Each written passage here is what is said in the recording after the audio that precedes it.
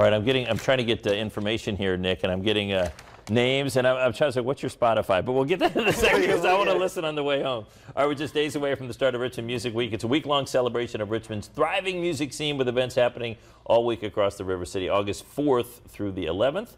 So joining us now is Here RVA, with Here as in here, hearing you. RVA. It's Elijah Hedrick and Ryan Moses Hedrick. All right, so you're holding a mixer. The big event you want to talk about Yes. is on. Now, I didn't know this when I met you, but they're same last name. Yeah. Yes. Brother and sister. Not. No, actually, we're married. Okay, you're married. I, I didn't pick up on that vibe at all in there.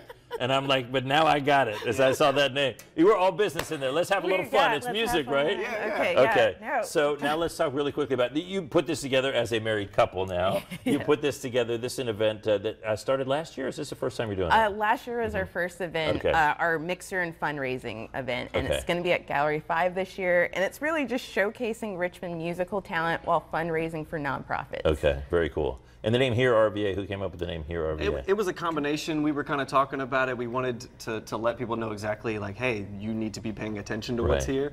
Um, and the word Richmond is really long on social media, and everybody else has something tagged Richmond, so we went with here. RVA. Short, like I love listen to Richmond music. yeah, there you go. And so the event, let's talk about the event that's happening on Saturday at Gallery 5. And I'm so embarrassed and I'm so old and unhip, tragically unhip. Where is Gallery 5? Help us out. Well, I, I, well, sorry. Oh, you. I disagree. You're very hip. Oh, thank you. but, but Gallery 5 is in Jackson Ward. Okay. Um, so a very historic part of Richmond. Right. Um, gallery 5 itself is an art gallery slash performance space. They do a lot of nonprofit work. They are a nonprofit. Mm-hmm. Um, and it's just going to be a, a, a great, easy location for people to get to, whether they're downtown or outside of the city. But there's going to be vendors there that are there to help music professionals kind of brush up their resume, connect with local uh, music journalists, things like that too. And this isn't necessarily the event on Saturday. Isn't isn't necessarily like it's not like a pure concert. It's like a gathering and a networking. And networking, Yeah. exactly. Yeah, we realized during COVID, a lot of people like haven't really like seen each other face to face, but Yeah. they may have collaborated on Yeah. the same song. So we are like, well, let's get us all in the same room and talk to each other and make some more dope music. That's very cool. And um, so this is the beginning, sort of the kickoff of the week. And I was joking as Nick was tossing it from weather that I'm trying to get your Spotify. Do you have? Oh yeah, out? no, yeah, we definitely have Okay. music out. Uh, like I said, my name is illiterate. My rap name is illiterate, but Is it's it? not spelled right. Oh, okay, so That's spell the it dad out. I've joke. gotta write it It's down. E L I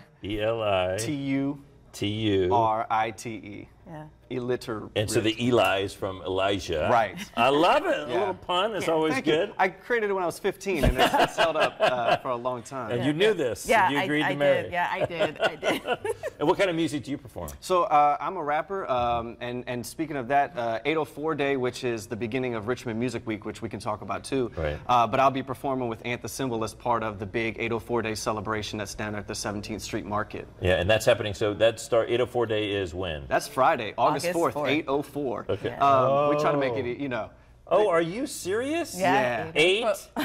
Oh, four. What? Yeah, 804 Okay, August so my 4th. producer is also reacting with amazement, and I'm so mad I didn't come up with this. I It's mean, we eight- didn't come up with y- it Listen, either. I've seen the promotion, and under at no point did it click to me that it's 804, S- uh, August 4th. Well, now that you've told our secret, everybody's going to know. It's not that so, is yeah. so cool. It's just got it. It's just like it's it's amazing. So that's 804 day makes total sense, and that's the beginning of a week that's going to be pretty amazing. Correct. Yeah. So Richmond Music Week is something that we've put together with other uh, contributors and, and cultural cur- cultural cultivators in the scene that. um, that have really kind of put into the music scene. So it's not just our project, but RichmondMusicWeek.com. We've highlighted over 100 different performances throughout the 4th through the 11th. There's a featured event for every night that week, Yeah. um, and just really encouraging people to get out in the city and see the music that's always there. Um, and Ryan, real quick, shout us out to the website so people can go. Or inst- is, is there Instagram? or Yeah, website? there Where's we, we're kind of covered in all bases, Right. but Richmond Music Week, and if you search that right now in Google, you don't even have to put the dot com. It should be the first thing that pops up. Very cool. I love it. So Ryan and Elijah, thank you so much for Thank coming you. in. Thank you for Uh, we us. appreciate it, and thanks for blowing my mind that 804 day